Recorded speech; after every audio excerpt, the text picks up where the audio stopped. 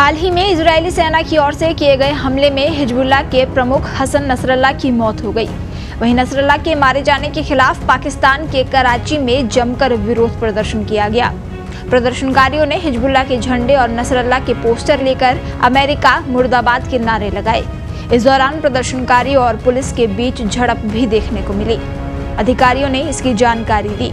अधिकारियों ने बताया कि हिजबुल्ला नेता हसन नसरल्ला की हत्या का विरोध जताने के लिए प्रदर्शनकारी अमेरिकी वाणिज्य दूतावास की ओर जा रहे थे।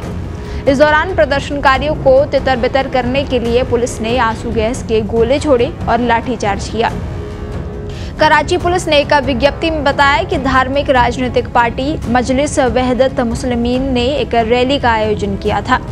वरिष्ठ पुलिस अधिकारी असद रजा ने बताया कि प्रदर्शनकारियों ने तय मार्ग से हटकर माई कोलाची रोड पर स्थित अमेरिकी वाणिज्य दूतावास की ओर मार्च करने की कोशिश की। पुलिस अधिकारी ने बताया कि पुलिस ने जब उन्हें रोकने की कोशिश की और शांतिपूर्ण तरीके से विरोध प्रदर्शन करने के लिए तय किए गए मार्ग की याद दिलाई तो उनमें से कुछ लोग हिंसक हो गए और पुलिस पर पथराव शुरू कर दिया। प्रदर्शनकारियों के पथराव में कुछ पुलिसकर्मी घायल हो गए। प्रत्यक्षदर्शियों ने बताया कि कई प्रदर्शनकारियों ने रास्ता बदल दिया और जब नेटिव जेटी ब्रिज से अमेरिकी वाणिज्य दूतावास की ओर बढ़े तो पुलिस ने उन्हें रोक दिया। बाद में उन्हें तितर बितर करने के लिए आँसू गैस के गोले छोड़े और लाठीचार्ज किया।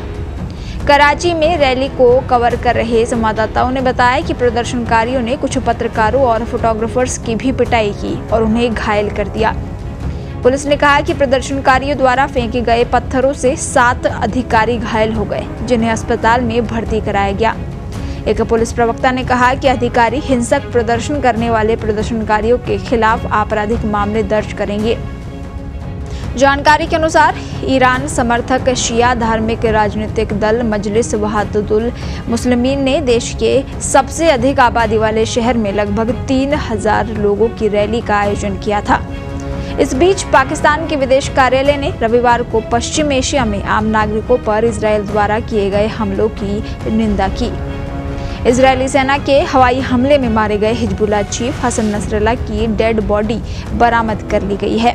उसके शव को लेबनान के बेरूत में उसी जगह से बरामद किया गया, जहाँ आईडीएफ ने एयर स्ट्राइक की थी।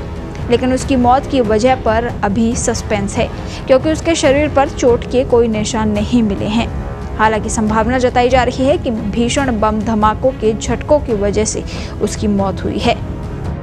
अब हसन नसरुल्लाह, जो एक मुजाहिद थे, एक शेर थे, जो 32 साल से उन्होंने क़्यादत की और उससे पहले से उन्होंने अपनी मुजाहिदत की इस फ़लस्तीन की आज़ादी के लिए राही अलकुद्स के शहीद हैं और इनका खून रहेगा नहीं जाएगा।